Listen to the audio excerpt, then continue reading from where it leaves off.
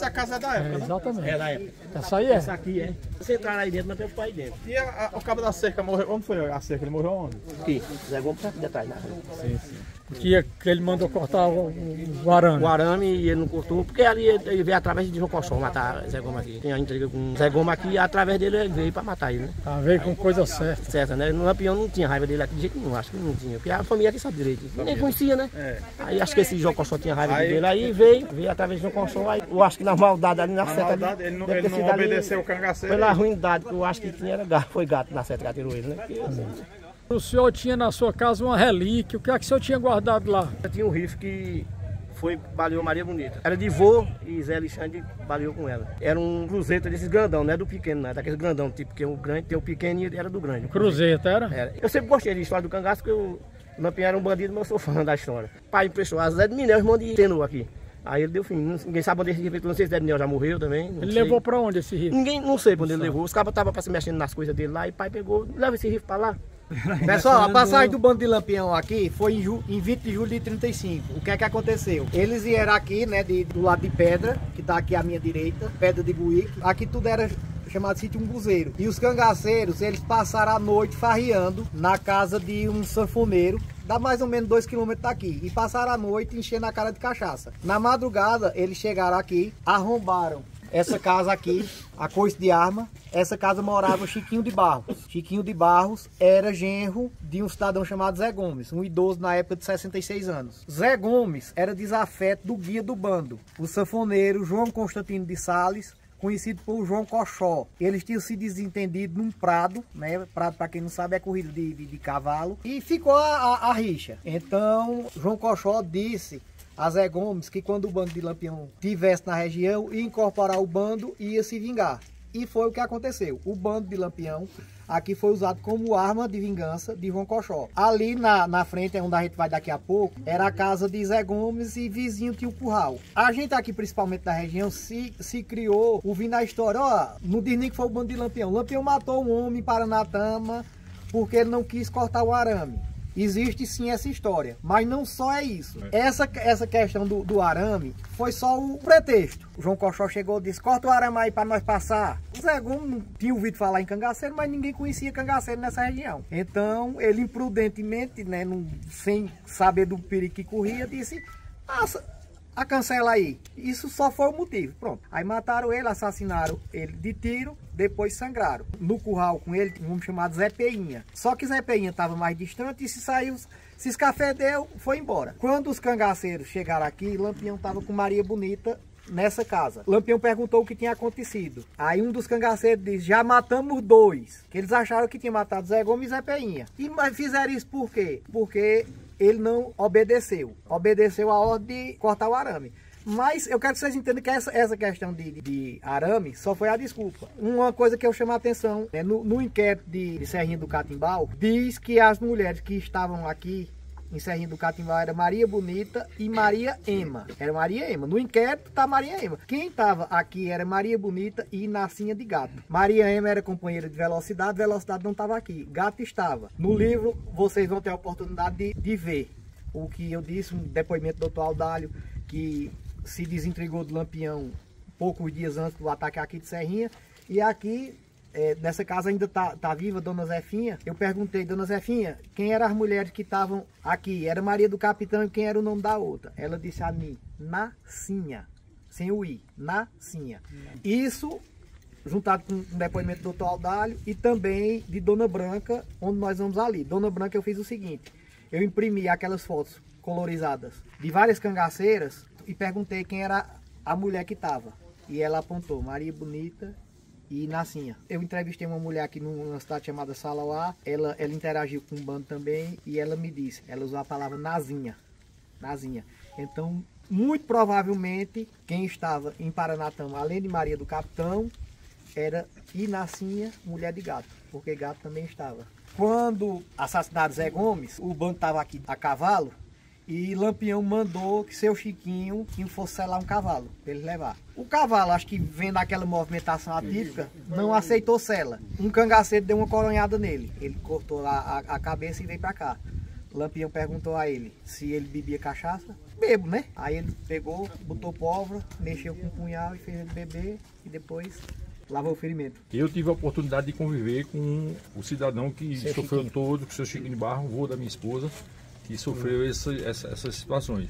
Os cavalos estavam ali, não só era um cavalo, eram vários, estavam ali, e eles queriam serar. E com aquela agitação, os cavalos ficaram agitados. Por conta disso aí, eles achavam que era uma vontade dele pegar, fizeram, deram esse, esse coice com um rifle. Além de, de botar o resto, be- beber e botar o resto da pólvora para lavar o ferimento para estancar. E ele disse que estancou. E esse relato, ele ficou sentado aqui uma tarde aqui nessa, nessa calçada aqui, ali nessa calçada.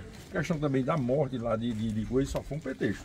Na verdade, é, Finado Zé Gomes queria abrir um colchete, que falava colchete na época, que era um, O vai vem, um, né? um rasinho, e ele só vou abrir, já tá aqui, tinha 3 metros, 4 metros de onde eles queriam que ele cortasse o arame. Eu disse, Não, eu vou abrir aqui, o não, a gente quer passar por aqui. Quer dizer, então foi realmente um pretexto que já vinha já É. esquematizado de tanto para matar ele. Falou assim, Lampião não gostou da atitude. Lampião não- Rapaz, não gostou. Não gostou, Lampião não gostou.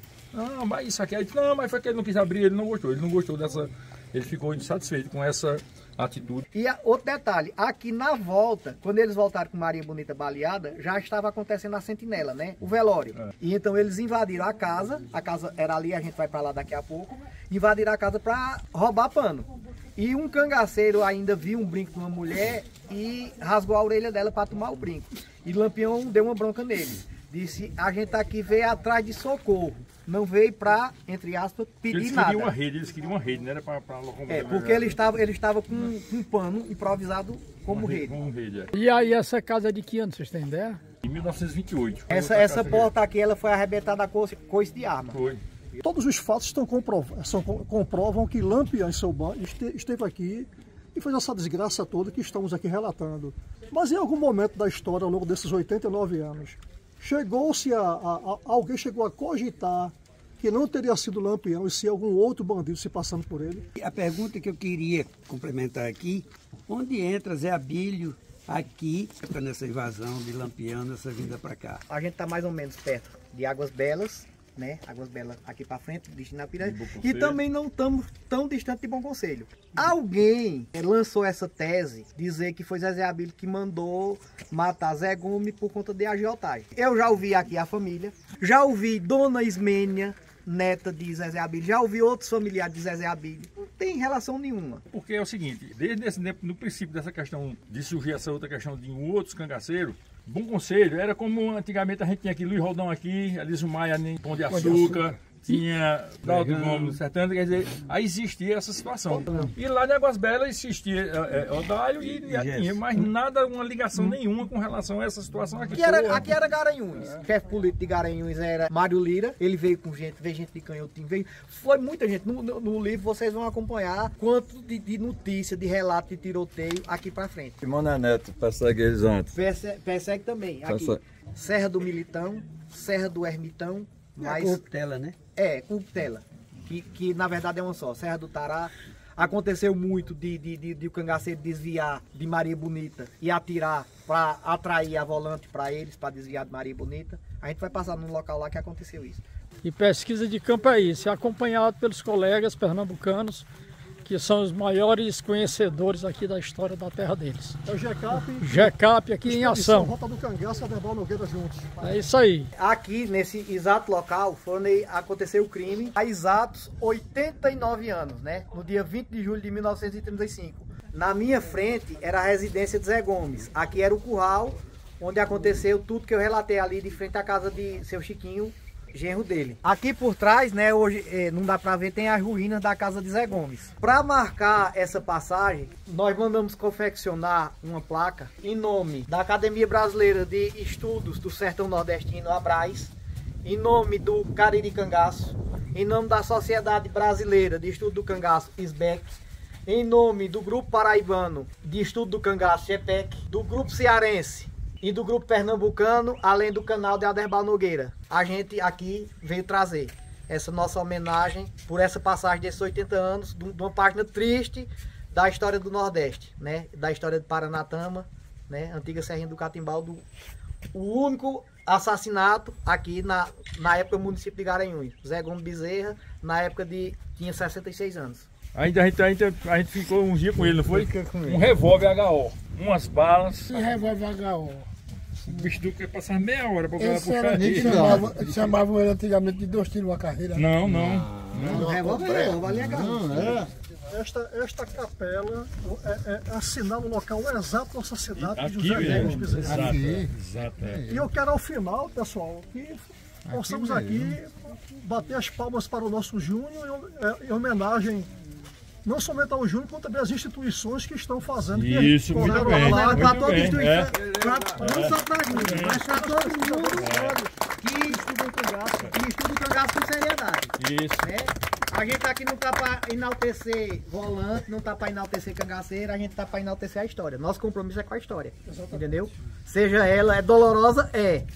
Mas é nossa, a história é nossa. Qual a importância aí para você do GK, vocês terem colocado essa placa? O que é que significa isso para você? Olha, veja bem, é mais uma- um desbravamento né, sobre a cultura pernambucana, né, para deixar um legado para as próximas pessoas entender o que foi o cangaço, justamente na época lampiônica. Isso aí é muito bom para as próximas gerações entender tudo que aconteceu nessa época. Com certeza. E eu, no meu nome e em nome de todos, agradecemos por esse marco que vocês acabaram de deixar registrado aqui para sempre. Nós é que agradecemos. Pessoal, aqui todo o grupo aí que está acompanhando aqui a expedição, muito legal, muito bacana pra gente.